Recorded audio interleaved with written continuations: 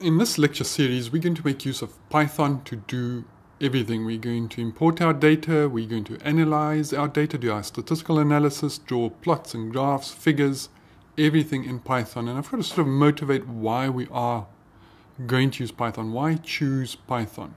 Now, this is an IPython notebook. It's code that you can write that renders right inside of a browser. And uh, I'll introduce you to IPython later in the lecture series. What is Python? Well, Python is a programming language, just as Java, C++, C Sharp, all programming uh, languages. It's an excellent language to use when you start with computer programming. Now, this course is not going to turn you into a computer programmer, but you're going to pick up so many things that you would be you're going to be well on your way. We're going to use a small subset of Python just for statistics. It's an enormously powerful language.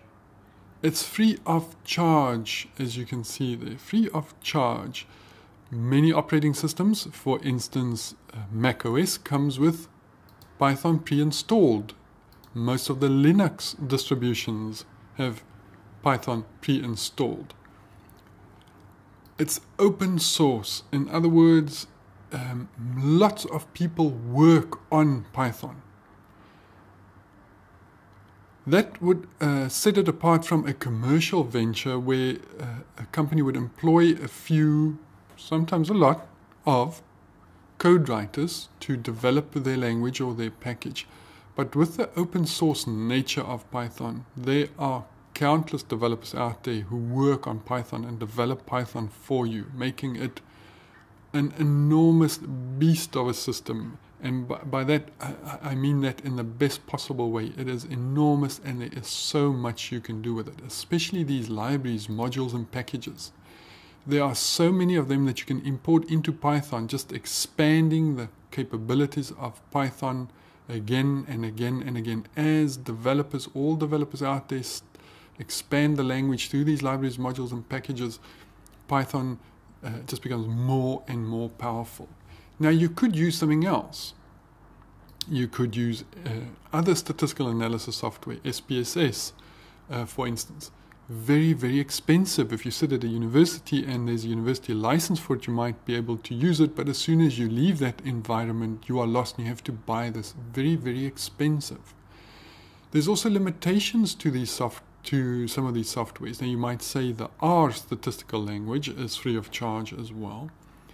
The thing for me about R, though, it is, and, and, and I don't mean this in a derogatory way, but it is a one horse pony. It is really for statistical analysis. If you learn Python, you can do so much more. There's many things outside of statistics.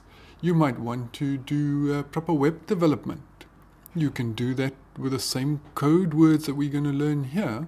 You can use Python for web page development, for so many other things it is really a learn once, use in so many fields type of product versus the others. Very good other products out there. If we just think about mathematics itself, Mathematica or MATLAB, very expensive, small number of developers who work on it, not open source. There, there are many negatives to all of these other products, as good as they are. I think I think there is no other choice to make but Python. So how do you get Python? You can click on uh, any of these, uh, ipython.org. There we go, that's the website. Now, Python, because of uh, the size of Python and so many people developing it, uh, it, it can become a bit confusing to expand the Python language and expand whatever's installed on your system with new modules and new packages. Fortunately, there are companies who bring this all together. Now, IPython is an interactive computing environment. That's what we're going to use in this course. But on their website, if you click on, there we go, ipython.org, if you click on their uh, uh, uh, homepage, you'll see the install, click on install, and if you go down, you'll see these how I am getting started with Python. Continuum's, uh, uh, Anaconda or Enthought's Canopy. I like to use Anaconda, so when you click on Anaconda, it takes you to this install page. Now what that does is it combines a lot of stuff and a lot of modules and packages all in one installation. So you download it once, double click it and it installs. Now if we go back to our notebook here, look how wonderful this notebook is. I can actually display web pages within. This is an active web page within my code. So I wrote a line of code and I've got the web page right in there. Now let's run this one as well run that code, I can run another web page right inside of of uh, my uh, uh, Python environment and my development environment. But this is what the installer is about. It's going to give you the option of installing for Windows, for Mac OS, and for Linux. Those would be your options for install. Once you do that, you're going to get these download buttons, both in 64-bit for modern computers, modern operating systems, and the older 32-bit to play it safe. One other thing that you're going to see is Python version 2.7 versus I want Python 3.4. Now 3.4 is the newest development uh, uh, environment, the, the newest development of Python, and that is really the one that I'm working with here. Uh, quite a few things have changed between 2.7 and 3.4. Some of the code will not work for you if you set with 2.7, which is still the default installation on many systems. So I'm on Mac OS here, so I would go there. I would say I want 3.4 and there's my installer. Anything for Mac OS version 10.7 or higher is going to use the 64-bit and I'm basically just going to install that the beauty, uh, or click that, it will download. You double click on the download and it installs. You can get some information as to how to run it just in the documentation there for Windows. Linux, as per usual, is a bit more convoluted. You have to type in a command there. But there's some explanation there how to do the install. For Windows and Mac OS, you simply down, click the download. It installs, remember 3.4 it install uh, it, it downloads you double click that download and it installs without problems. Select all the defaults as it installs. Now this is the packages. Uh, let's hit on 3.4 there. So I've got an active web page right inside of my development environment inside of my code.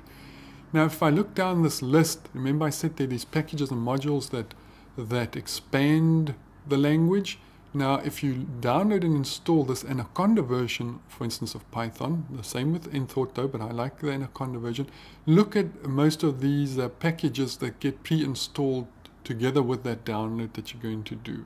And bar one or two that we have to do manually, everything that we're going to use in this course is already installed in in the Anaconda version that you're going to download. All of these packages you'll see there, they are in this installer. Some, some are false there, so they won't be. So one or two of them will have to do manually, and I'll show you how to do that. So please, please, please consider not using the default Python installation or installing it in any other way than to come to Anaconda, and that really comes from the IPython.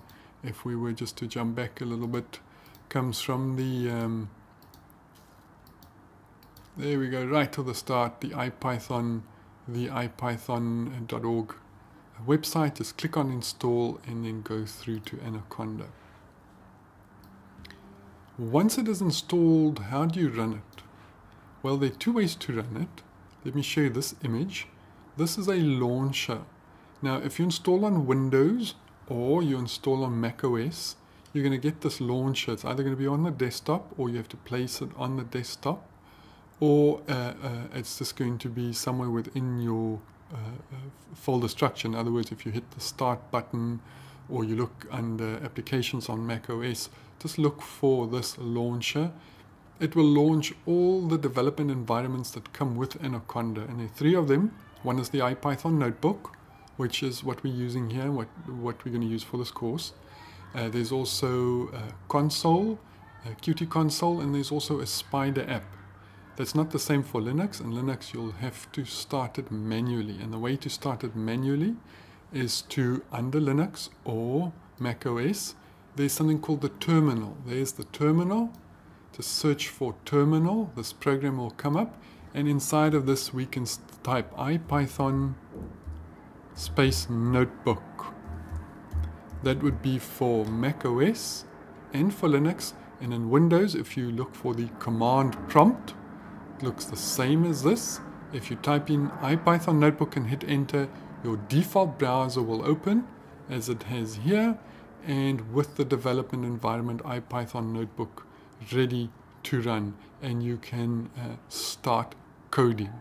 Hope I've convinced you that Python is the best way to use. It's quite easy to install.